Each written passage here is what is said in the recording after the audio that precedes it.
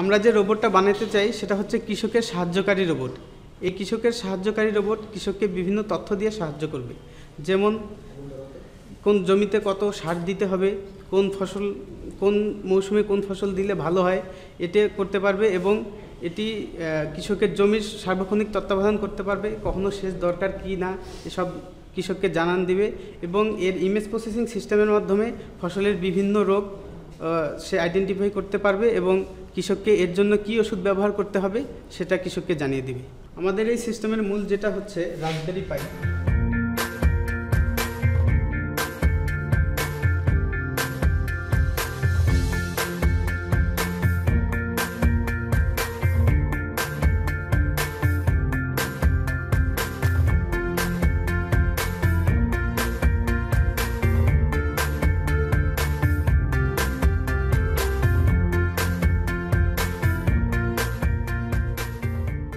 আমার নাম বঙ্গোষ্ঠী ভাবে আপনাকে সাহায্য করতে পারি।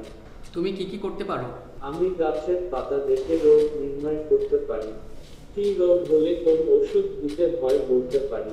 ফসলের সার্বক্ষণিক তত্ত্বাবধান করতে পারি। প্রয়োজনে বিভিন্ন পরামর্শ দিতে পারি যেমন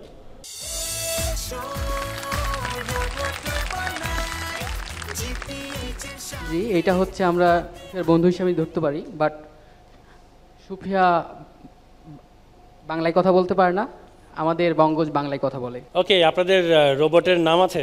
জি আমাদের রোবটের নাম বঙ্গজ। বঙ্গজ সোফিয়ার বন্ধু নাকি? মাইক্রোফোনটা একটু সামনে ধরি তাহলে। তোমার নাম কি? আমার নাম বঙ্গোষ্ঠী ভাবে আপনাকে সাহায্য করতে পারি? আরে বাবা। তুমি কি কি করতে পারো? আমি গাছের পাতা দেখে রোগ নির্ণয় করতে পারি। কি রোগ হলে কোন ওষুধ দিতে হয় বলতে পারি। সেন্সরের মাধ্যমে ফসলের সার্বক্ষণিক তত্ত্বাবধান করতে পারি। প্রয়োজনে বিভিন্ন পরামর্শ দিতে পারি যেমন সেচ দিতে হবে কিনা। আলুর আর্লি ব্লাড রোগ হলে কি করতে হয়? একটু অপেক্ষা করুন। পরিমিত ও সময় মতো সুষম সার ও সেচ প্রয়োগ করতে হবে। এবং পাতায় দুই একটি দাগ দেখার সাথে সাথে প্রতি লিটার পানিতে। দুই গ্রাম আইক্রোডিয়ন বা ম্যানকোজেব গ্রুপের ছত্রাকনাশক যেমন রোবোরাল বা ডাইথেন এম পঁয়তাল্লিশ স্প্রে করতে হবে। তোমরা যে এই সিস্টেমটা করলা হ্যাঁ। এই সফটওয়্যারের ব্যাক এন্ডে কি কাজ করেছে বা কি দিয়ে এটা করলা তোমরা সেটা একটু আমাদের জানাবে কি কাইন্ডলি হ্যাঁ জি স্যার অবশ্যই।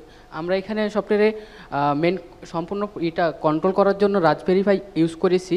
তারপর এখানে একটা মাইক্রো কন্ট্রোলার হিসাবে আরডিওনো ইউজ করেছি যেটা হচ্ছে আমার জমিতে থাকবে। এবং জমিতে সেচ দিতে হবে কি না মোটরটা কখন চালু করতে হবে সে ওখান থেকে চেঞ্জ করবে ব্লুটুথের মাধ্যমে এবং পাম্পটা চালু করে দিবে। তারপর আরও কিছু ইউজ করেছি মাইক্রোফোন ইউজ করেছি।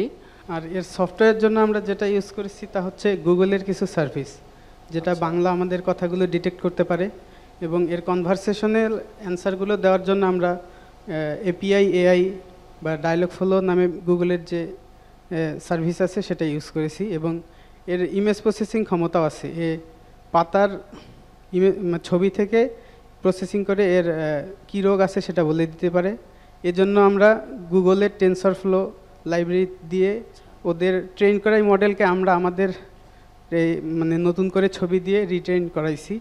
যাতে ও রোগগুলো ধরতে পারে। কিন্তু কই পাতা দেওয়ার জায়গা তো আমি খুঁজে পাচ্ছি না। ওকে ওকে। ওরা পাতার একটা ছবি নিয়ে আসছে। এই পাতাটায় দেখা যাচ্ছে যে স্যার। সবুজ রঙের পাতা তার মাঝখানে একটু মনে হচ্ছে খয়েরি খয়েরি কিছু সমস্যা আছে। একটু দেখিও আইডেন্টিফাই করতে পারে কিনা। আচ্ছা কি রোগ হয়েছে পরীক্ষা করো। দেখছি একটু অপেক্ষা করুন। আপনার আলুর ক্ষেতে নাভি ধসা হয়েছে।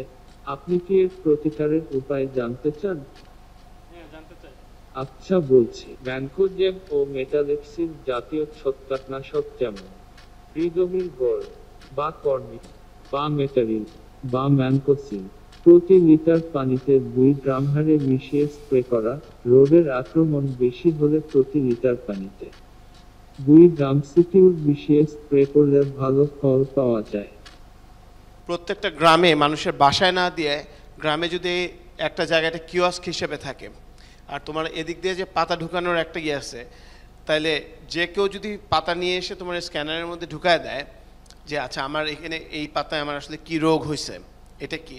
সে যদি স্ক্যান করে গুগলের ডেটাবেসের সাথে ম্যাচ করে অথবা আমাদের যদি ন্যাশনাল কোনো ডেটাবেস থাকে ইয়ের রোগের, কৃষি সম্প্রসারণ বিভাগের তাহলে খুব তাড়াতাড়ি ডিটেক্ট করা যাবে যে, এটা এই হয়েছে কি করা যায়? So that that that's a huge potential right there আচ্ছা আমরা বঙ্গজকে দেখলাম, আমি খুবই ইমপ্রেসড এবং আমি মনে হচ্ছে দশ, আমাদের বিচারক মণ্ডলী তারাও অনেক ইমপ্রেসড তো যাই হোক, আপনাদেরকে অনেক অনেক গুড লাক জানাচ্ছি এবং এই পর্বে শেষে আমরা জানতে পারব যে বিচারক মণ্ডলীর রায় বা মতামত কী ওকে